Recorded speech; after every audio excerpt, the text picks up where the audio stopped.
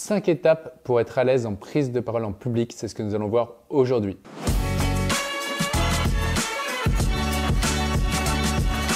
Bonjour, ici Pierre, fondateur de l'Académie de l'Haute Performance. On accompagne des sportifs, entrepreneurs et performeurs à être confiants, sereins dans le milieu compétitif et éliminer la peur d'échouer. Je suis également l'auteur de plusieurs ouvrages que vous pouvez retrouver dans la description. Et enfin, avant d'aller plus loin, vous pouvez bénéficier d'un entretien offert avec un membre de mon équipe. Là aujourd'hui, c'est Thibaut qui nous pose la question euh, de comment euh, faire et quels conseils pour être à l'aise vraiment en public. Euh, c'est quelque chose qui, revient souvent, la prise de parole en public chez les managers, les entrepreneurs, même certains coachs aussi. et du coup, on va voir aujourd'hui bah, comment faire ça en cinq étapes. Donc peut-être que parfois vous avez une prise de parole à faire ou vous devez aller en public et pour autant vous ne sentez pas vraiment à l'aise, vous avez un peu peur, vous avez les mains qui deviennent moites. Eh bien euh, rassurez-vous, euh, aujourd'hui on va voir euh, comment être à l'aise justement en public et en prise de parole en public. C'est un exercice que j'aime particulièrement le faire parce que ça va vraiment très vite à libérer, à libérer quelqu'un et quand on connaît ces principes-là. Déjà, le tout premier, avant d'aller voir les étapes pour être à l'aise en public, c'est de se dire que c'est normal quand il y a un exercice euh, qu'il y ait des, changements physiologiques dans le corps. Donc les, mains vont devenir moites tout simplement pour pouvoir mieux les agiter et avoir un meilleur non-verbal. C'est possible que la voix, le ton de voix augmente pour tout simplement pouvoir mieux porter sa voix. Ce ne sont pas ces changements physiologiques qui sont mal, c'est croire qu'ils sont mal et contre nous qui les rend contre nous. Mais si on accueille les changements physiologiques comme waouh, mais c'est top, merci en fait, c'est grâce à ça que mon corps est en train de se mettre en action, eh bien c'est beaucoup plus euh, facile derrière. Donc ensuite, la première étape, c'est vraiment comprendre, ça c'est toute la dépolarisation, euh, c'est vraiment comprendre que nous, avons peur d'être jugés de ce que l'on juge. on a peur d'être jugé de ce que l'on juge. Donc si je suis en public ou en prise de parole de public et que je n'ose pas m'exprimer tout simplement, c'est se poser la question, ok, j'ai peur que l'on me juge de quoi? D'incompétent. Ok, j'ai peur que l'on me juge de euh, quelqu'un qui parle trop. J'ai peur que l'on me juge de malhonnête, par exemple et prendre ces jugements-là et de se dire, OK, du coup, à partir de ça, je sais que j'ai peur d'être jugé de ça, qui est-ce que je perçois comme ça? Le monde est notre miroir, donc euh, de trouver un miroir et de faire une dépolarisation euh, classique dessus. Ensuite, je me rappelle justement sur ce sujet, j'avais fait une dépolarisation classique avec un manager qui avait du mal à parler en public. Et quand je lui dis, mais qui est-ce que tu n'aimes pas? Qui est-ce qui t'agace? Il m'a dit, ah, j'aime pas Donald Trump, c'est un manipulateur.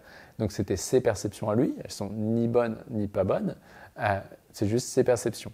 Et donc quand on a regardé factuellement ce qu'il fait et sous quelle forme lui il faisait déjà et de faire la dépolarisation dessus, boum, du jour au lendemain, en fait, il était à l'aise à parler en public, rien que par rapport à ça.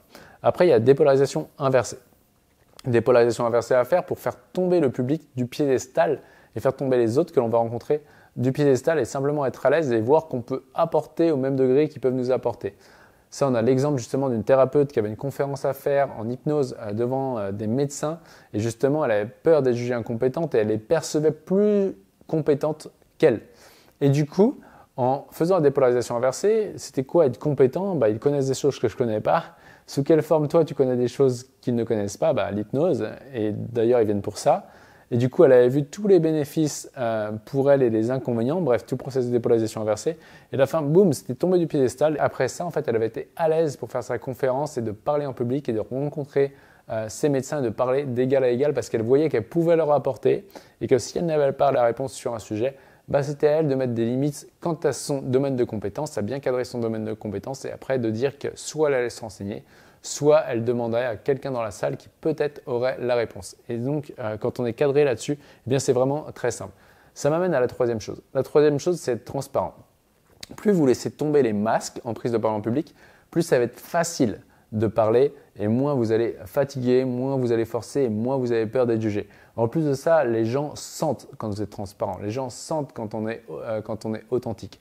Et euh, j'ai tellement vu des gens euh, à une certaine époque, maintenant c'est en train de changer petit à petit, à vraiment surjouer les choses, qu'aujourd'hui, montrer à un être humain qu'on a trop trop trop de positifs dans notre vie et quasiment pas de négatifs, bah, ça commence de plus en plus à sonner faux. Dans chaque être humain a du soutien dans la vie et du challenge dans la vie, euh, des choses qui se passent plutôt bien et de manière fluide, des choses où bah ouais, c'est un peu plus challengeant. Et en fait, c'est OK. En fait, chaque être humain va avoir des moments de up, des moments de down, et même le plus grand coach en motivation a des moments d'up et de down. Même le plus grand sportif de haut niveau a des moments où il va être en haut et des moments où il va être en bas énergétiquement.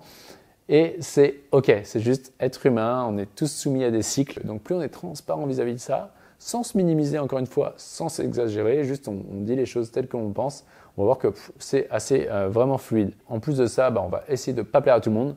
Chaque être humain a un système de valeurs, de priorités intrinsèques. Et on a beau faire des dépolarisations, bah, y a avec des gens qui vont avoir des priorités vraiment différentes de nous dans la vie, avec qui ça va pas matcher. On va pouvoir matcher pendant quelques instants pour parler, mais après, euh, on va vite plus rien avoir à se dire et de passer euh, à autre chose naturellement. Et c'est ok, ça fait juste partie du jeu et être à l'aise avec ça. Ensuite aussi, en public, ce qui est vraiment important euh, à faire, et moi c'est des fois où j'ai le, le, plus stressé dans le passé, c'était quand j'étais centré sur prendre plutôt que de donner. ou alors de que, ce que les gens vont penser de moi plutôt que de délivrer un message. quand on arrive dans une réunion et qu'on arrive avec on se pose juste avant d'entrer dans une réunion ou en prise de parole en public et on se pose la question quelle est mon intention avant de rentrer dans cette réunion, ah ben, mon intention c'est de donner, j'ai rien à prendre. Et à chaque fois qu'on est dans le don, je donne, et tu sais quoi, je donne et j'ai rien à prendre, les gens le sentent. J'en parlais hier soir justement avec un, avec un ami euh, où, euh, bah, c'est vraiment beaucoup plus fluide et beaucoup plus simple. Quand on est là, on n'a rien à cacher, genre en mode euh, ok, je m'en fiche en fait de ce que tu penses de moi. Euh, je m'en fiche de qui tu es dans la vie. là, on est juste en train de parler et ça se passe très bien et je suis juste en train d'apporter ce que j'ai apporté. Et ça, c'est vraiment de poser l'intention. Euh, quelle est mon intention avant d'être en interaction avec ce groupe de personnes euh, ou en conférence Eh bien, ça aide vraiment à être à l'aise en, public quand on s'en sent surdonné. Et enfin, c'est accueillir la pression. Un être humain est au summum de sa performance entre la zone de certitude et d'incertitude au même degré. C'est pas parce qu'on a fait toutes les dépolarisations, c'est pas parce qu'on se penche sur le don que quand on arrive à une réunion qui est vraiment importante, et il y a des enjeux, il y a des projets qui sont là, où il y a une prise de parole en public, qu'il ne va pas avoir de pression. Euh, moi, il y a dernièrement, j'ai fait une conférence devant 600 entrepreneurs. Bah, avant de monter sur scène, je suis là, je me mets en condition, je suis en mode c'est trop bien et tout, je tape dans mes mains et je suis trop content d'être là et à la fois j'ai la pression en fait.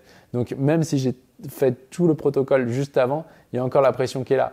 Pourquoi? Parce que quand on arrive dans un exercice euh, de prise de parole en public qui est quelque chose qui nous excite, comme du sport de haut niveau, bah, si on arrive trop relâché, bah, c'est possible que l'on perde nos mots, qu'on ne sache plus quoi dire, euh, qu'il y a des choses qui nous échappent. Alors que quand on prend quelque chose comme vraiment très important et qu'il y a soutien de challenge au même degré, certitude et incertitude au même degré, et qu'on a vraiment envie de délivrer le bon message, bien vraiment, il y a de manière très schématique, euh, on pourrait dire qu'il y a le système nerveux qui s'ordonne et que bah, tout est fluide pour qu'on puisse délivrer le bon mot au bon moment.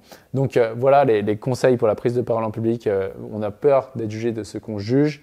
la dépolarisation inversée, être transparent, être dans le don et d'accepter le soutien, le challenge, l'appréhension qui est présente juste avant. Et voici pour cette vidéo. Eh bien, si vous avez aimé, pensez au petit pouce qui fait toujours plaisir, à mettre un commentaire ou une note si vous l'écoutez en format podcast. Et enfin, rappelez-vous, l'important n'est pas ce que vous faites, mais qui vous devenez.